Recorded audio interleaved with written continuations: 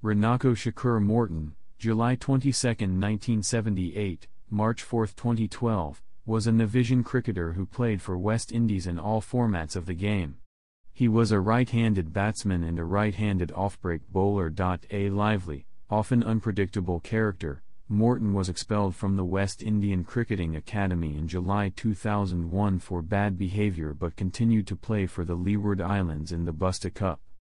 International career Upon his return in February 2002, he was called into the West Indies squad as a replacement for Marlon Samuels, but he was dropped once again when he lied about his non-appearance in the ICC Champions Trophy in September 2002. Following a stabbing incident in January 2004, he was arrested too, but was given a third chance in May 2005 when he was recalled for the South African Test. He was involved in a bizarre run-out with Shivnarine Chanderpaul in the third test against New Zealand in 2006. Morton drove the ball to mid-on where Daniel Vettori was fielding and ran to the non-striker end. Chanderpaul, at the other end, initially took a few steps down the wicket but then turned and went back to the non-striker's end.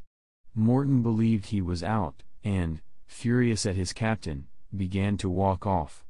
However, Following a call to the third umpire, it was decided that Morton had grounded his bat at the non-striker's end just before Chanderpaul, and hence was safe and that Chanderpaul was out. Video evidence suggests that the umpire's decision was wrong, although Morton made his ground first, he then left it before the run out was made, so he should have been the one dismissed.